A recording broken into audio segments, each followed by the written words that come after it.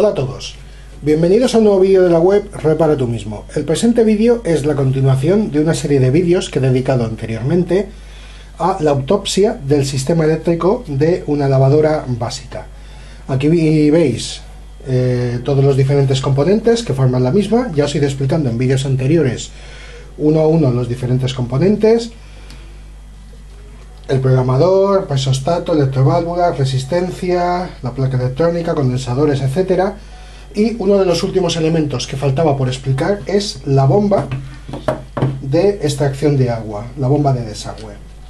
La misma ya la he desarrollado en bastantes vídeos anteriormente, pero bueno, ya que forma parte del el despiece de la lavadora, pues es conveniente también explicar la misma. Eh, las bombas en las lavadoras antiguas eh, tienen una curiosidad, por si alguno no lo sabíais, y es que el cableado que alimenta la bomba de desagüe está interconexionado con la electroválvula de entrada de agua. Si nos fallase una de las dos bobinas de la electroválvula de entrada de agua o de la bomba de desagüe, tendríamos el problema de que la lavadora no cargaría agua. Claro que tampoco desaguaría, pero bueno, no tendríamos carga de agua, ya que tampoco podría desaguarla. Por lo tanto, ambos bobinados, ambos circuitos están en serie. Si veis los colores, marrón claro y azul claro, coinciden con los de la electroválvula de entrada de agua. Es muy importante cuando tengáis un problema el comprobar tanto una bobina como la otra bobina y comprobar los conectores Faston que no estén quemados, que hagan mal contacto, etcétera, etcétera. Vamos a ver cómo comprobar la bobina de la bomba de desagüe. Normalmente las bombas de desagüe, el 80% de problemas que tienen son problemas mecánicos, no son problemas de la bobina. La bobina, ya que estamos, la vamos a probar para saber qué medida tiene, pero eh, ya digo que problemas de la bobina no suelen ser los problemas más comunes de las bombas de desagüe. Utilizaremos un podímetro en la escala de ohmios. Inicialmente vamos a poner la escala de, pondremos la de 2000, la de 2K, y si eh, fuera mucho más bajo ya iríamos bajando. Conectamos los dos terminales a la bomba su bobina y vemos que nos da una medida de 165. En teoría, 165 ohmios. Bajamos de escala y exactamente en la escala de 200 a fondo de escala tenemos 166,3 ohmios. La bobina estaría en buen estado. Comprobamos si la misma la tenemos derivada a masa, cosa que no va a estar. Como veis, ponemos la escala más alta del polímetro comprobamos y no tenemos ningún tipo de derivación a masa. Por lo tanto, la bobina inicialmente está en buen estado. Ya digo que el problema de bobina, el problema del eléctrico, no suele ser el problema principal de las bombas. El problema principal suele ser rotura de la hélice o eh, que la misma se atasque, por lo tanto produce fallo intermitente. Para desmontar la bomba, buscamos en qué lateral tiene una pequeña pestaña que realiza la función de cuña para evitar que podamos girar, la pestaña la tenemos en este lateral, activamos la misma y giramos la tapa de la bomba. Una vez girada, podemos desmontar la misma. Para comprobar la hélice, miramos a ver qué movimiento tiene la misma y debemos fijarnos si tiene mucha holgura. Encontraremos algunas bombas que tienen más holgura que otras. Hay algunas que tienen holgura prácticamente de tres cuartos de vuelta o media vuelta. Esta, concretamente, no tiene ninguna holgura, como veis.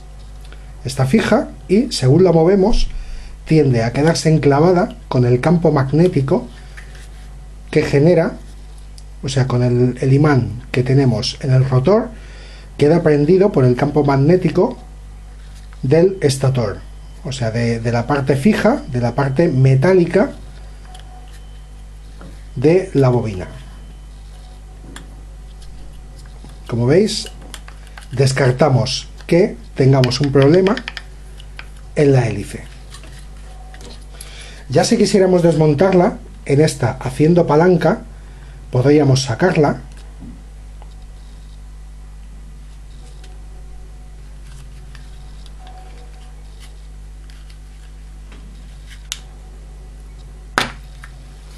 así y podríamos sacar toda la parte del rotor esto que tenemos aquí es un imán que está bañado en un aceite. Uno de los problemas que tienen las bombas es que cuando giran, el agua y el jabón se llega a introducir en esta parte, formando una pasta, y por lo tanto impidiendo o dificultando el giro de la bomba. He realizado diferentes pruebas para ver si podía engrasarlas y poder recuperarlas y la verdad es que los resultados que me han dado han sido bastante malos. Probé con grasa de, motores, grasa espesa, no me ha ido bien. Probé con aceite fino, aceite de coche y con ninguna de las soluciones me ha sido satisfactoria para poder recuperar las bombas y que volvieran a funcionar, ya que las mismas habían perdido agua a través del retén, el agua se había introducido en el interior y atascaba las mismas. En algún comentario de los vídeos eh, alguien me ha comentado de que se pueden engrasar con aceite de parafina. Yo no he llegado a probarlo. Si alguno lo quiere probar, pues mira, encantado si aporta, si funciona bien o no funciona bien.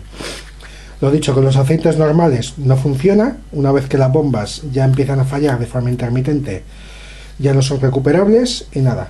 Probar con aceite de parafina por si acaso, pero bueno, no sé si conseguiréis algo no conseguiréis. Si lo conseguís hacer funcionar, encantado que me lo comuniquéis.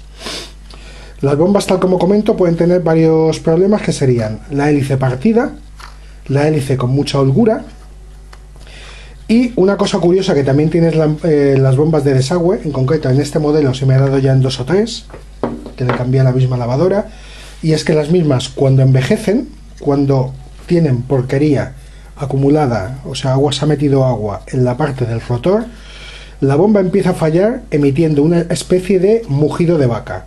Emite un sonido muy característico cuando empieza a girar y es un es directamente igual que un sonido de que produciría una, una vaca cuando muge. Ya digo que es bastante curioso, no parece un problema de la bomba de desagüe, pero sí, es problema de, de dicha bomba. Y el otro problema que pueden tener es que funcionan a trompicones es una avería un tanto complicada o compleja de, de poder diagnosticar, ya que las mismas empiezan a fallar o a funcionar a, trompicones, a veces desaguan, a veces no desagua, un lavado nos va bien, dos lavados no van bien, el tercero vuelve a ir y nos engaña bastante el síntoma. Otro de los temas también que influye bastante es que la máquina puede fallarnos en el centrifugado. Si nos falla en el centrifugado, lo primero que tenemos que ir a mirar antes de comprobar el motor, el motor de giro de la máquina, sería la bomba de desagüe. Que el filtro que tenemos antes de la bomba esté limpio y que la, propia bomba de desagüe esté funcionando adecuadamente. Es un fallo típico el del centrifugado eh, provocado por la bomba de desagüe. Pues nada, espero que este pequeño vídeo os haya gustado, complemento de los otros temas ya que toqué. Eh, sobre la autopsia, el sistema eléctrico de la lavadora. Y nada, que os haya sido de utilidad, que os pueda ser de ayuda y que sigáis visitando la página web y los vídeos. Repara tú mismo.